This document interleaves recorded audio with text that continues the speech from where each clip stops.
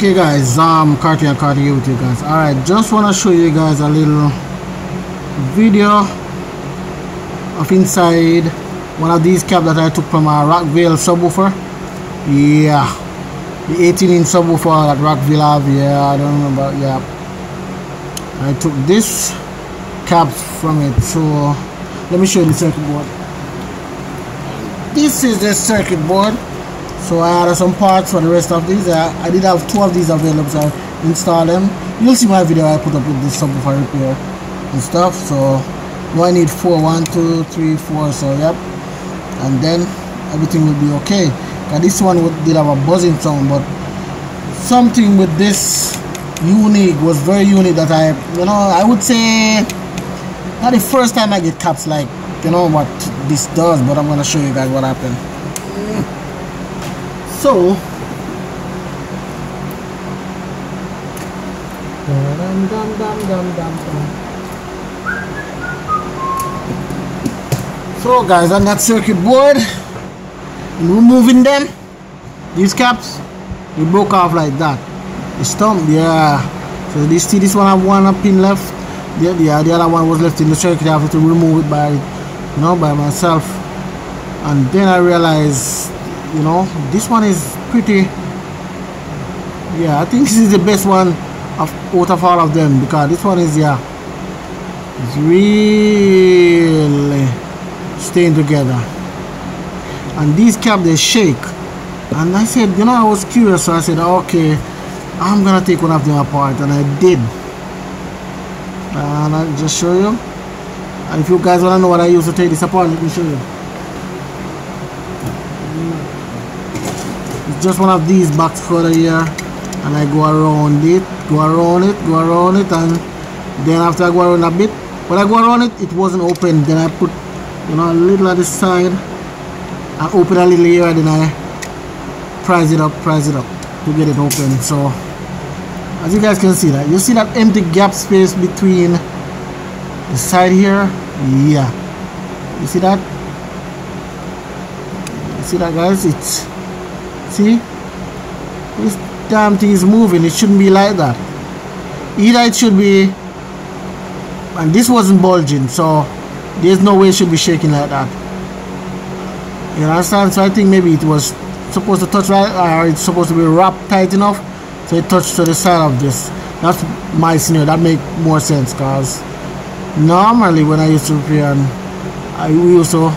That's one of the way we used to find out if they're really bad if they're not bulge.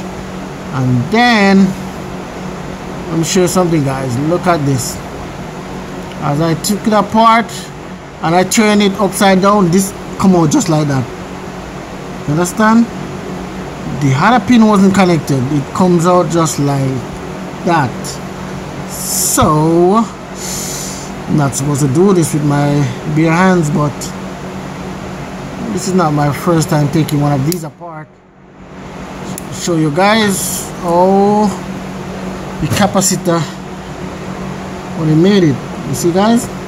You have this sheet here and then you have this aluminum or metal. Yeah I think it's an aluminum file sheet.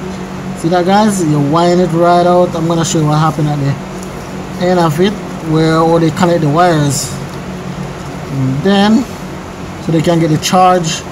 All right you see one connected to this side of the aluminum file that's inside of it. We go now.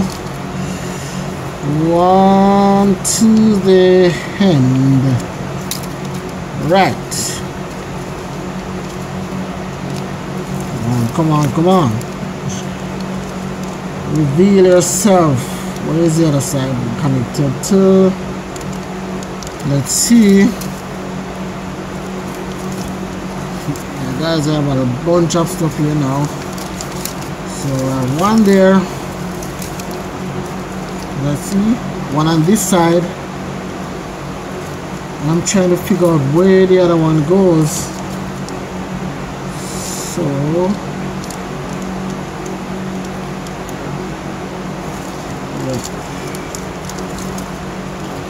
so this was doubled. So that makes sense so next one should be on the other hand of this one which I didn't see it as yet. It's not here. Oh yes guys. On that end and then let's see. On this end so you guys could see how it goes. See I have double aluminum file, you guys and you could see where they connected how they connect them and I told him look at this yeah I tore it apart. And this one yikes yikes. It comes off. So these little damn thing connected the pin of the capacitor you know? Those things must come apart. And this is all from inside of a capacitor. And this one was the you guys could see it look like um uh, what do we call it? A pen shell or yeah some like that. This guys and this one was the 63 volts 6800 microfarad. And all of this component guys that amplifier you know these caps as you could see. Yeah I told you they're not supposed to shake but you know I again these wasn't wrapped tight enough these are some mass production that I don't know where Rockville get them from. Not bashing them or anything but I'm just saying. This is the first time I've seen you know a cap do like that. I know the pin all the corroded off and stuff but I never see like they burnt off inside the cap itself the capacitor you know? So that kind of that one is new to me so just showing you guys what happened and how inside of one of these look and yep so it has two coating of I mean wrapping of aluminum foil one for the positive one for the negative. So yeah it was wrapped like this. So outside here is a piece of paper. And the, I think the charge seeping through it on this side yeah same thing. And it that's what they use to insulate one aluminum foil from the other so they don't short it out. So that's how you get the charge from the capacitor you understand similar to our I would say uh, transformer work with the magnetism you know stuff like that. That's how charge goes through. But yep this is so now this is our trash. That's guys um